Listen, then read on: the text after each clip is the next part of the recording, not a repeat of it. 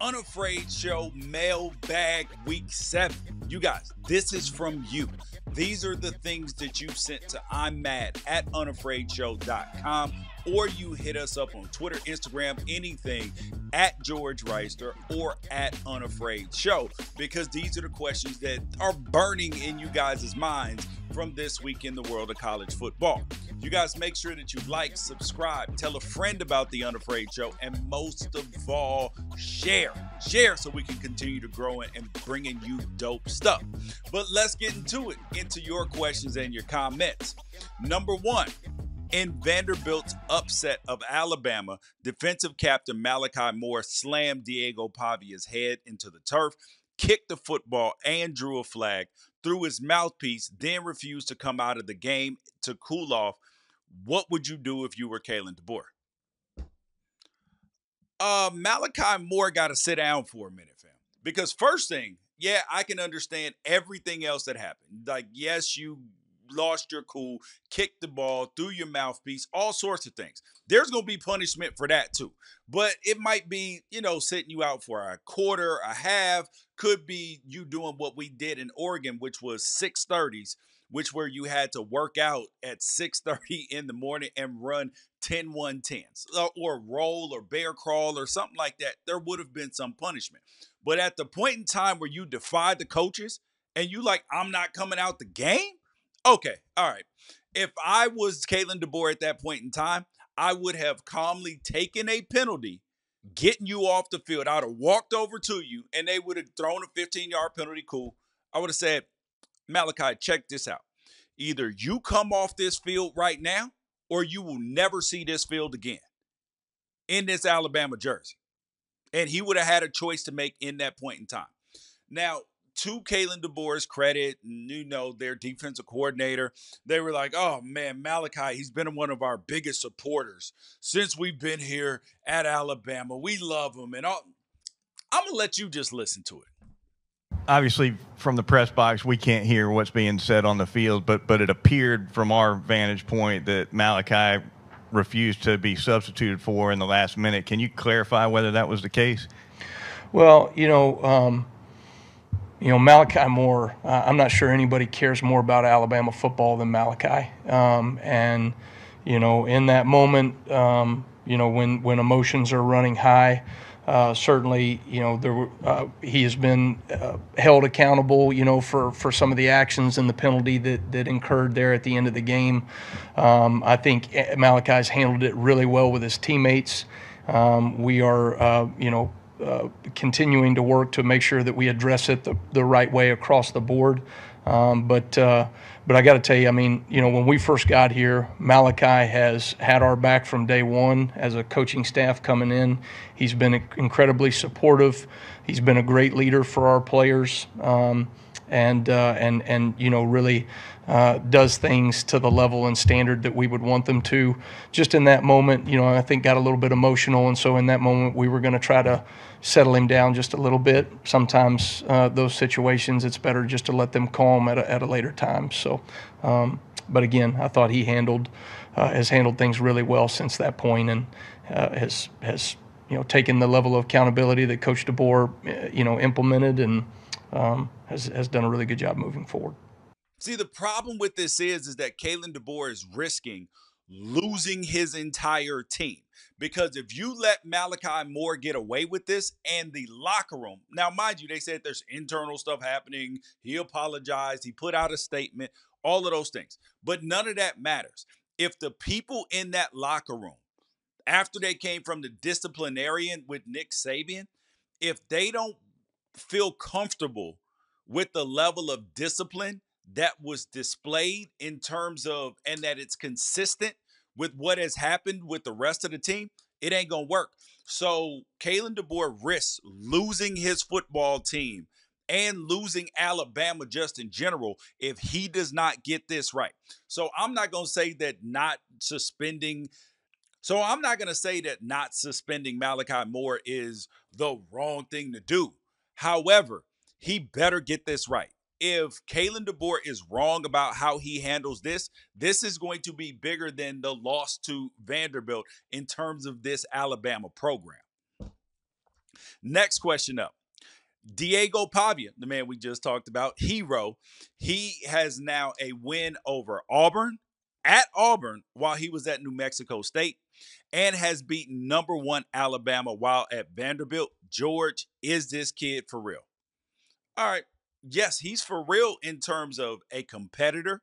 He is for real in terms of having them, you know, them big balls and them types of onions that it takes. But you got to go back to how Diego Pavia was was made because he went to high school in Albuquerque, New Mexico, and there ain't a lot of big time players that come out of New Mexico. The one I can really think of off the top of my head is Brian Urlacher. And then you got Diego Pavia, who tore it up at New Mexico Military Institute, which is a JUCO in Roswell.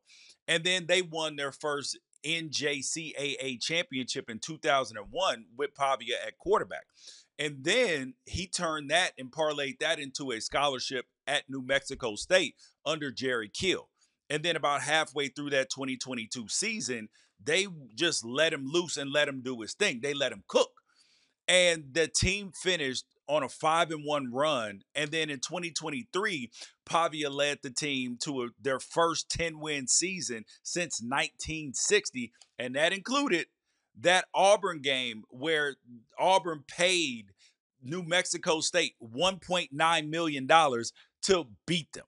Now, at that point, you would think, okay, that Diego Pavia would never actually have to pay for a drink in Tuscaloosa because he beat Auburn for the rest of his life. But not no more though. They're gonna make him pay double. They gonna have to, they gonna need to go in witness protection. And the kid ended up in Vanderbilt out of the transfer portal after Jerry Kill and Tom and Tim Beck took assistant coaching jobs in Nashville under Clark Lea over there at Vanderbilt. And then that's when Aria Gerson at the Tennessean, he wrote just about how Diego Pavia was different. Now, he's a competitor. You can just look in his face, look in his eyes, and he don't have that quarterback face thing going on because this dude was a high school wrestler. And how many quarterbacks actually wrestle? And the dude's mom is a savage too. She refused to talk to him after losses in youth football to teach him to hate losing. Bro, mom was in on the gig too. And this is the same dude that body slammed an opponent against Auburn and got a penalty because he threw an interception on a free play when Auburn was offsides. And then his quote was actually hilarious. He said, once I step on the field, I'm going to dominate in every single way. I'm going to be the best player on the field every time I step on the field. And I absolutely love it. I love it. And I believe that he's already cemented himself as a legend in Commodore's history. But they're three wins away from being bowl eligible for the first time in 2018. And if he does that combined with the number one, defeating the number one team in Alabama, not just any number one team, but Alabama, bro, the dude is a legend for life. All right, the third question that was sent in from you guys to Unafraid Show is um, Miami fan here. You talk about the full Cam Ward experience, which I've called it. Is that what we saw against Cal on Saturday? Yes, that is exactly what you saw. And what I mean by full Cam Ward experience is Cam Ward is a really good player and he's a excellent playmaker. And he's going to do some things that are going to have you wow, like, oh my God, that was so special. The dude is clutch on fourth down. He makes plays. But the problem is, as the level of competition increases, he has these like Will Levis intrusive mo- moments thoughts. That is exactly what we saw against Cal uh, for Miami. There are going to be moments where Will Levis is spectacular, where he does things that you are just amazed at. The dude will be clutch on fourth down. He will be special. He will do all sorts of things that will leave you wow. But there are those moments once the big time competition comes up that his Will Levis intrusive thoughts will break through and he will throw an interception like he threw against Cal, where you're just, as a fan, just inexplicable, shaking your head and just so upset.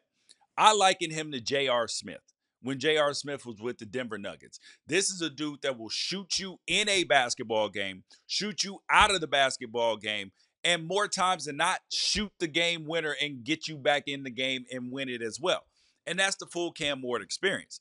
But the problem is, is that Miami, who has not played a ranked team yet, and likely won't play a ranked team for the rest of the season, can he keep this this yo-yo up long enough for Miami to number one win the ACC, and then if they get into the college football playoff, be good enough and consistent enough that they won't lose a game because you know you play against better teams. That margin for error against Cal, if you get up on if Oregon, Ohio State, you know even Bama or Georgia, if they get up thirty-five to ten on you, that's curtains, buddy.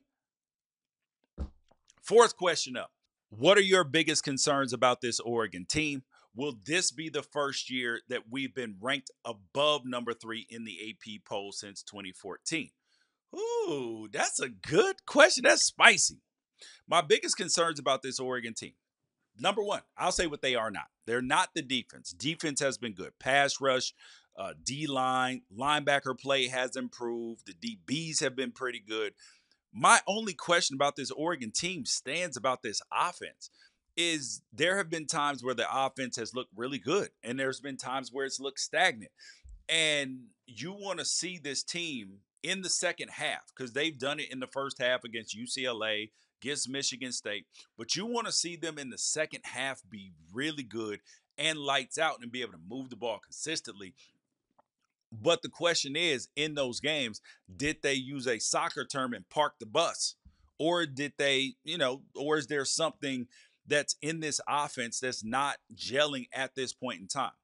But everybody has to remember that this 12 team college football season is different. It is different than any other year. It's the new normal season where a game against Ohio State, much like the the Georgia Alabama game, it's not a death sentence if you lose it. It, it your season's not over. You just want to be playing your best football like the NFL playoffs at the end of the year. You got to get in the playoffs and then you got to be playing your best ball if you want to be able to win because the expectation is not to be ranked above number 3. It is to go deep in the college football playoff and try to win a national championship. Number 5. Was Iowa better off with Brian Ferentz, Kirk Ferentz's son, their head coach, as the offensive coordinator? Hmm. It sure appears that way, right? But then as we dig deeper down into the numbers of this thing, it gets a little bit interesting. Because in 2021, they averaged 304 yards per game, 17 first downs, and 23 points a game. Last year, 252, 14.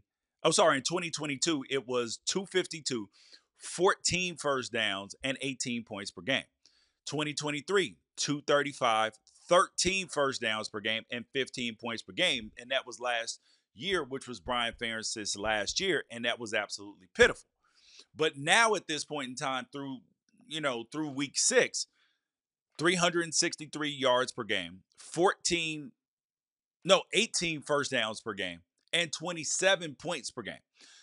Now, I'm to tell you this these numbers are going to fall dramatically because this offense is bad they will be way under 27 points per game because they're getting into Big Ten play and they're not going to score in the 30s outside of that Minnesota game where Minnesota's turnovers just led to a bunch of, of, of empty calorie points. So, yes, this offense is essentially the exact same thing. And they hired Tim Lester to be their new offensive coordinator, and it appears to be a little bit of an upgrade. But their head coach, Kirk Ferentz, it seems like he would rather win and score three points than lose and score 30. But we look at last week, they were never going to beat Ohio State. But isn't it possible, considering that Vanderbilt beat Alabama? Couldn't you make it a little bit closer? And yeah, they probably should have beat Iowa State, who's ranked in the top 15 right now. And it probably is not Tim Lester's fault that Kirk Ferentz decided to play run and punt football at the end of that Iowa State game. But I do not believe that there is any offensive coordinator in the country that's going to be able to overcome Kirk Ferentz style of play because he has his thumb on his offensive coordinator. And the numbers show that Iowa's made some progress, but we won't know for sure until we watch them in Big Ten play. But uh, but my sneaky suspicion is that it is still just as bad as it was. All right, next thing up. Uh, number six. Why is Boise putting, and they're talking about Boise State, why is Boise State sitting Ashton Jeanty when they should be padding his stats for Heisman voters that definitely don't watch Boise State games. I thought this when they played Utah State this week because Ashton Jeanty in the first half had 13 carries for 186 and three touchdowns. I was like, damn, this dude might go for 300 today. And on one hand, no, they should not be doing that because Ashton Jeanty is the reason why they're winning and in the top 25 and a sprained ankle, a weird tackle, something happening to him because you're playing him in garbage time is not a good idea. But think about, but then I was like, damn, you're putting him in danger. But then let's look at how the last Heisman, two Heisman trophies were won. Because last year, Jayden Daniels won. And over a third of Jayden Daniels' combined passing and rushing touchdowns from last year came against a combination of Grambling, Army, and Georgia State. A third of them. And then you the year before, Caleb Williams, the dude had touchdown passes in 2022 against Rice while the team was already up 45 to 17. And then Fresno State, when in the fourth quarter, when they were up 35 to 17. Now look at what uh, Nick Saban did with Bryce Young. He didn't leave Bryce Young late into games. If he had, he would have been arrested because Bama fans would have gone crazy.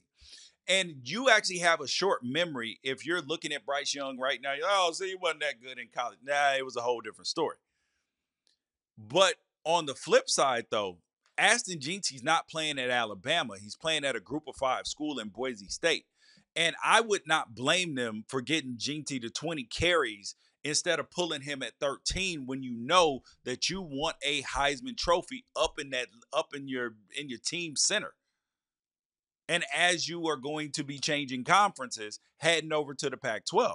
So this is one of them important things for the university. So listen, we just gotta. I would be playing them just a teeny tiny bit more in that Utah State game and just praying for them. Number seven. this is a UC. Well, number seven, this is a USC question. And I know that USC fans are going to be, oh, George, you're a hater. Listen, this came from y'all. This ain't me. Lincoln Riley is five and seven in his last 12 games. Clay Helton was eight and four in his last 12 before getting fired. Should USC fans be patient or do they need to start thinking about the future? And honestly, if we're being honest, the only reason USC isn't four and eight over that span is because Cal didn't get a two point conversion after scoring with less than a minute left to make it 50 to 49. And that Arizona game where they didn't get their two point conversion, too. It could be nasty. Could be nasty.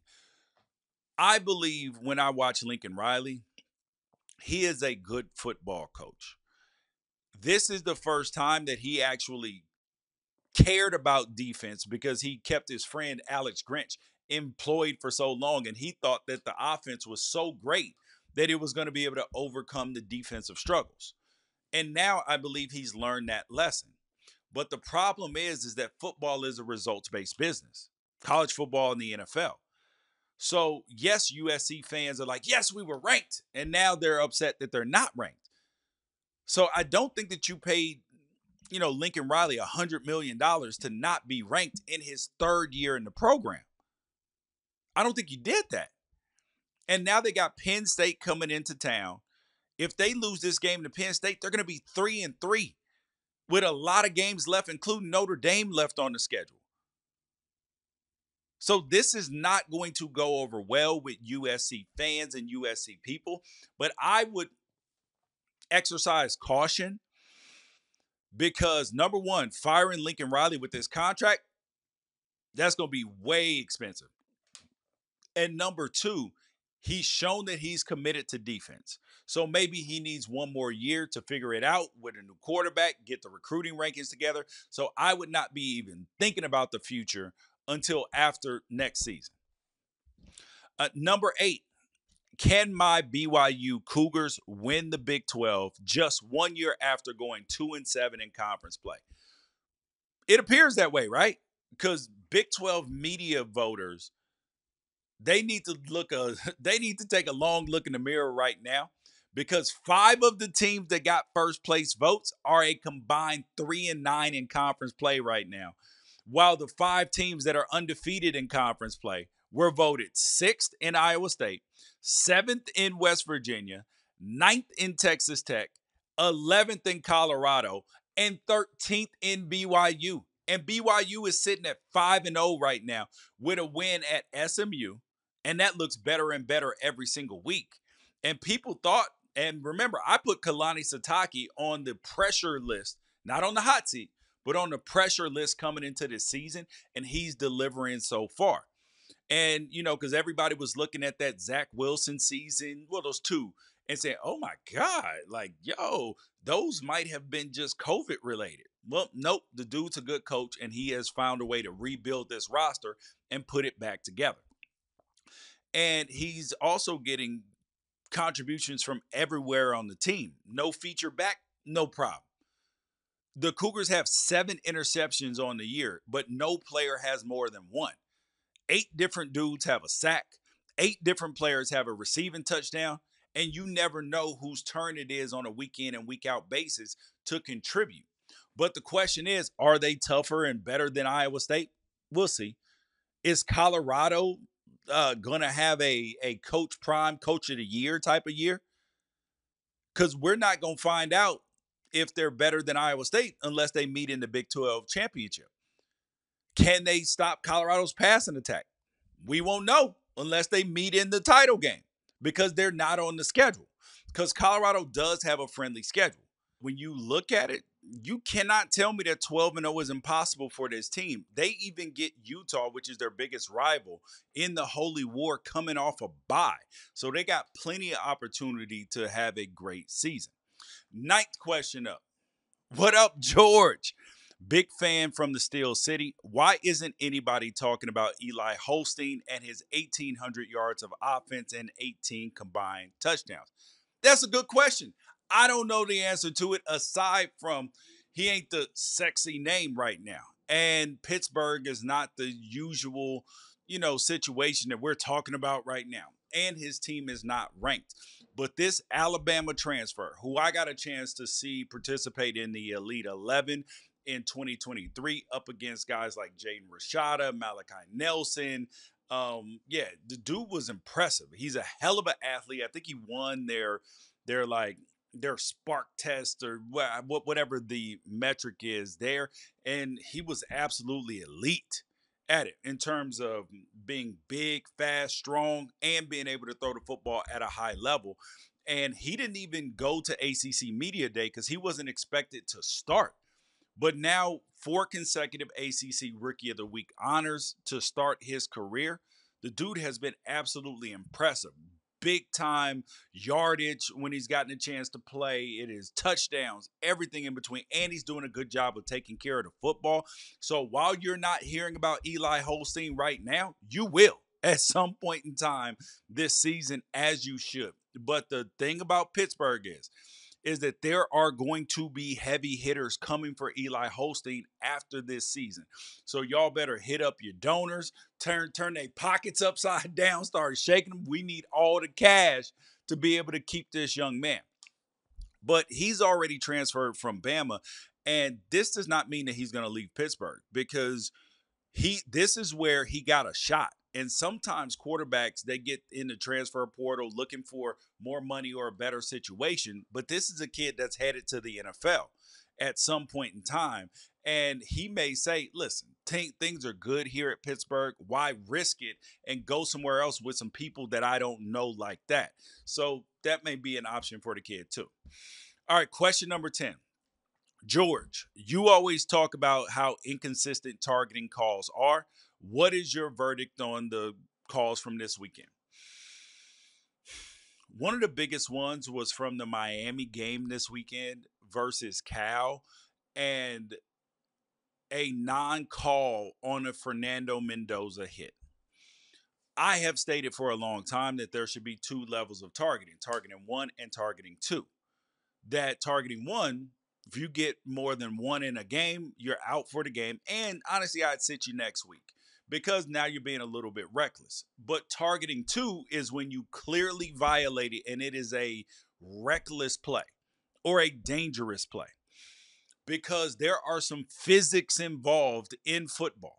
If you are going to have somebody running at you full speed, there is no way for you to tackle somebody to generate the level of upward force that you need to be able to get somebody on the ground without getting your head involved.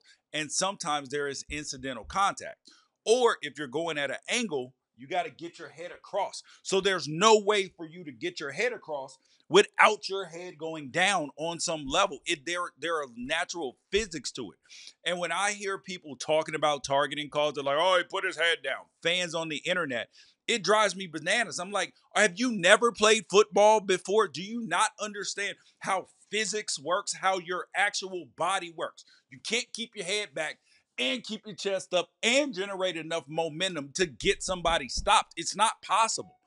And if if if you're going at somebody, you have to get lower, and there's no way to do that and keep your face completely up. it, it is impossible.